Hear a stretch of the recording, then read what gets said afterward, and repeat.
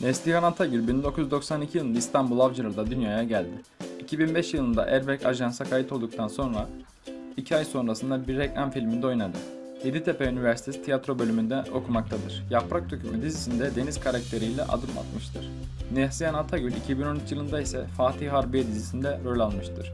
Şu an ise Kara Sevda adlı dizide oynamaktadır. Annesi Beyaz Rus, babası Çerkez kökenlidir. 2015 tarihinde 3 yıla yakındır beraber olduğu Kadir Doğulu ile nişanlanmıştır.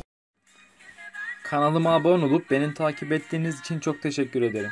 Bu videoya yorum yapmayı ve baş parmağı tıklamayı unutmayın.